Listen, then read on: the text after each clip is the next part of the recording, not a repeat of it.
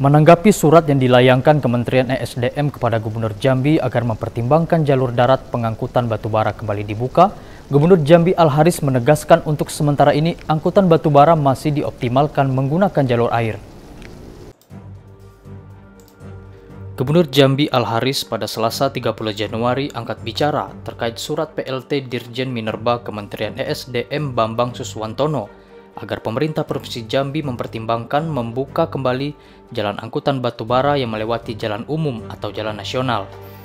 Pasalnya, kebutuhan bahan baku PLN untuk wilayah provinsi di Pulau Sumatera ini menjadi terganggu.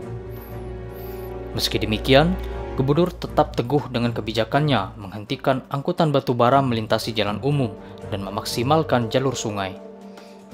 Lebih lanjut, Al-Haris juga menanggapi terkait dengan persoalan angkutan batu bara bahwa pemerintah juga tidak ingin menyesarakan masyarakat.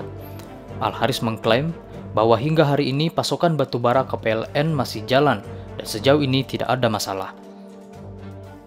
Itu tegaskan baik melalui jalur darat atau jalur air gitu kan.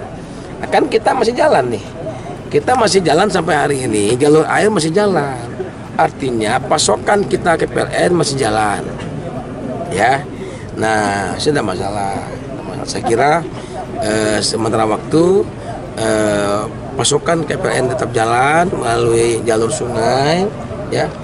Dan kita masih tetap mencari solusi terbaik lah.